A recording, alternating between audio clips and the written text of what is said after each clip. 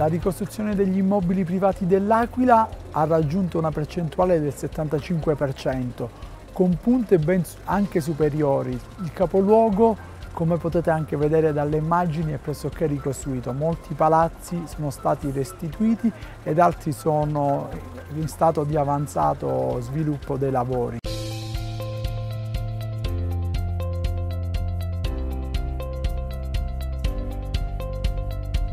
Contiamo di chiudere l'attività dell'ufficio con l'istruttore delle pratiche nel 2021 e la conclusione vera della ricostruzione con tutti i cantieri ultimati a partire dal 2023-2024.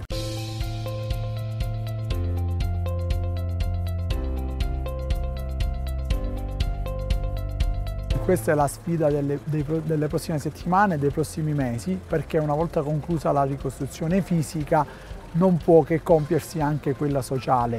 I palazzi torneranno ad essere abitati, le attività commerciali pian pianino stanno rientrando nel centro storico e contiamo che questo processo si, si continui sempre con maggiore frequenza e intensità.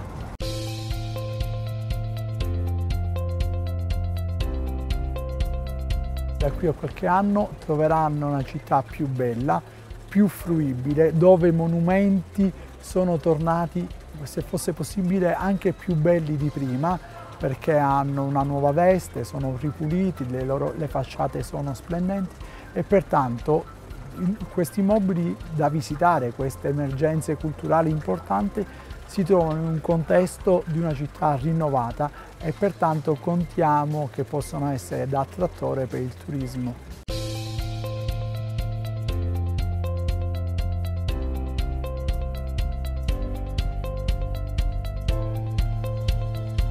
Non mi sento di dire che la strada è discesa perché, è perché la ricostruzione di questa città è complessissima.